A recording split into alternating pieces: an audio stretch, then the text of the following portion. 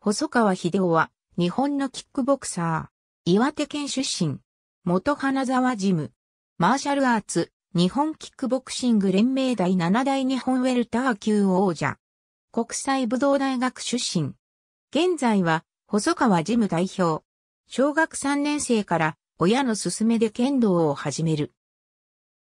小中学校では県大会で活躍、数多くの上位入賞をし、岩手県立森岡南高校に第一期生として推薦入学をする。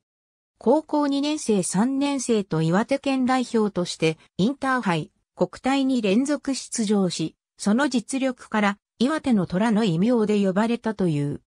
その後、県道推薦で千葉県勝浦市にある国際武道大学武道学科に入学したが、大学で剣道をやめ空手に変更した。大学では新国際空指導連盟柔ら会館に入門し2段まで昇段した。卒業後にキックボクシングに活動の場を移し、花沢ジムからデビュー。1995年1月29日、渡辺雄大との王座決定戦において4ラウンド、TKO で勝利し、マーシャルアーツ、日本キックボクシング連盟第7代日本ウェルター級チャンピオンとなったが、同年5月6日の防衛戦で寺田博美に敗れた。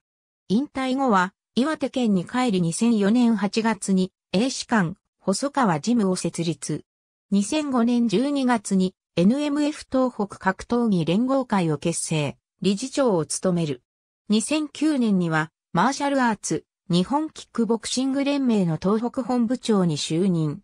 2011年には岩手県初となるマーシャルアーツ日本キックボクシング連盟第18代日本フェザー級チャンピオン12林実を輩出。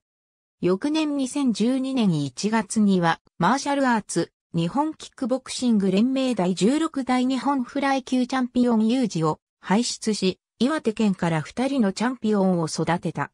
2013年4月、新団体ジャパンキックボクシングイノベーション拠点を移し、イノベーション工業本部長に就任。2014年3月、2代目理事長に就任。ありがとうございます。